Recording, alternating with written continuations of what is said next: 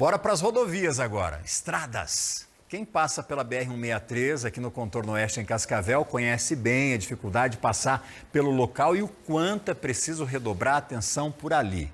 Olha só, as nossas equipes fizeram então imagens com o drone para que você tivesse noção. Pode encher a tela, Yu, por favor. Para que você tivesse noção então dessa situação toda enfrentada aqui. A região passa por obra, obras, é a duplicação que está acontecendo.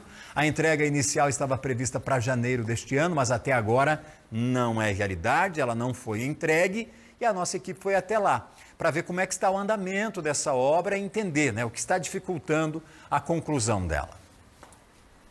Quem depende da BR-163 no contorno oeste, em Cascavel, sabe bem a dificuldade que é passar por aqui. Por ser pista simples, principalmente nos momentos de pico e períodos de safra, o que já é ruim, fica ainda pior. As obras de duplicação começaram em julho de 2021.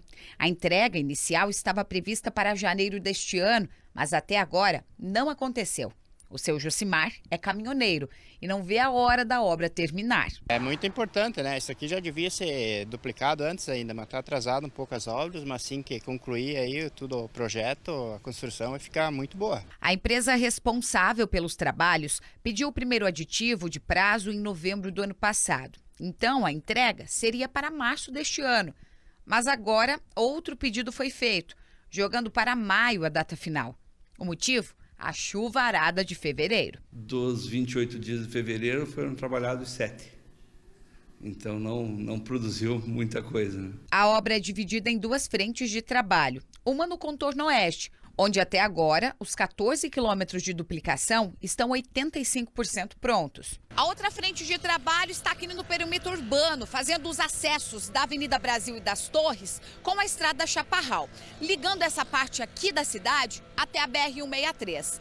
Essa parte da obra já está com 80% de execução. Os serviços, é, vamos dizer assim, os serviços, os maiores serviços já estão executados. Né? Na, na 163, na duplicação, a concretagem está praticamente acabada, falta só os encontros ali na ponte do Rio das Antas. E no acesso está sendo feita a finalização da parte de pavimentação.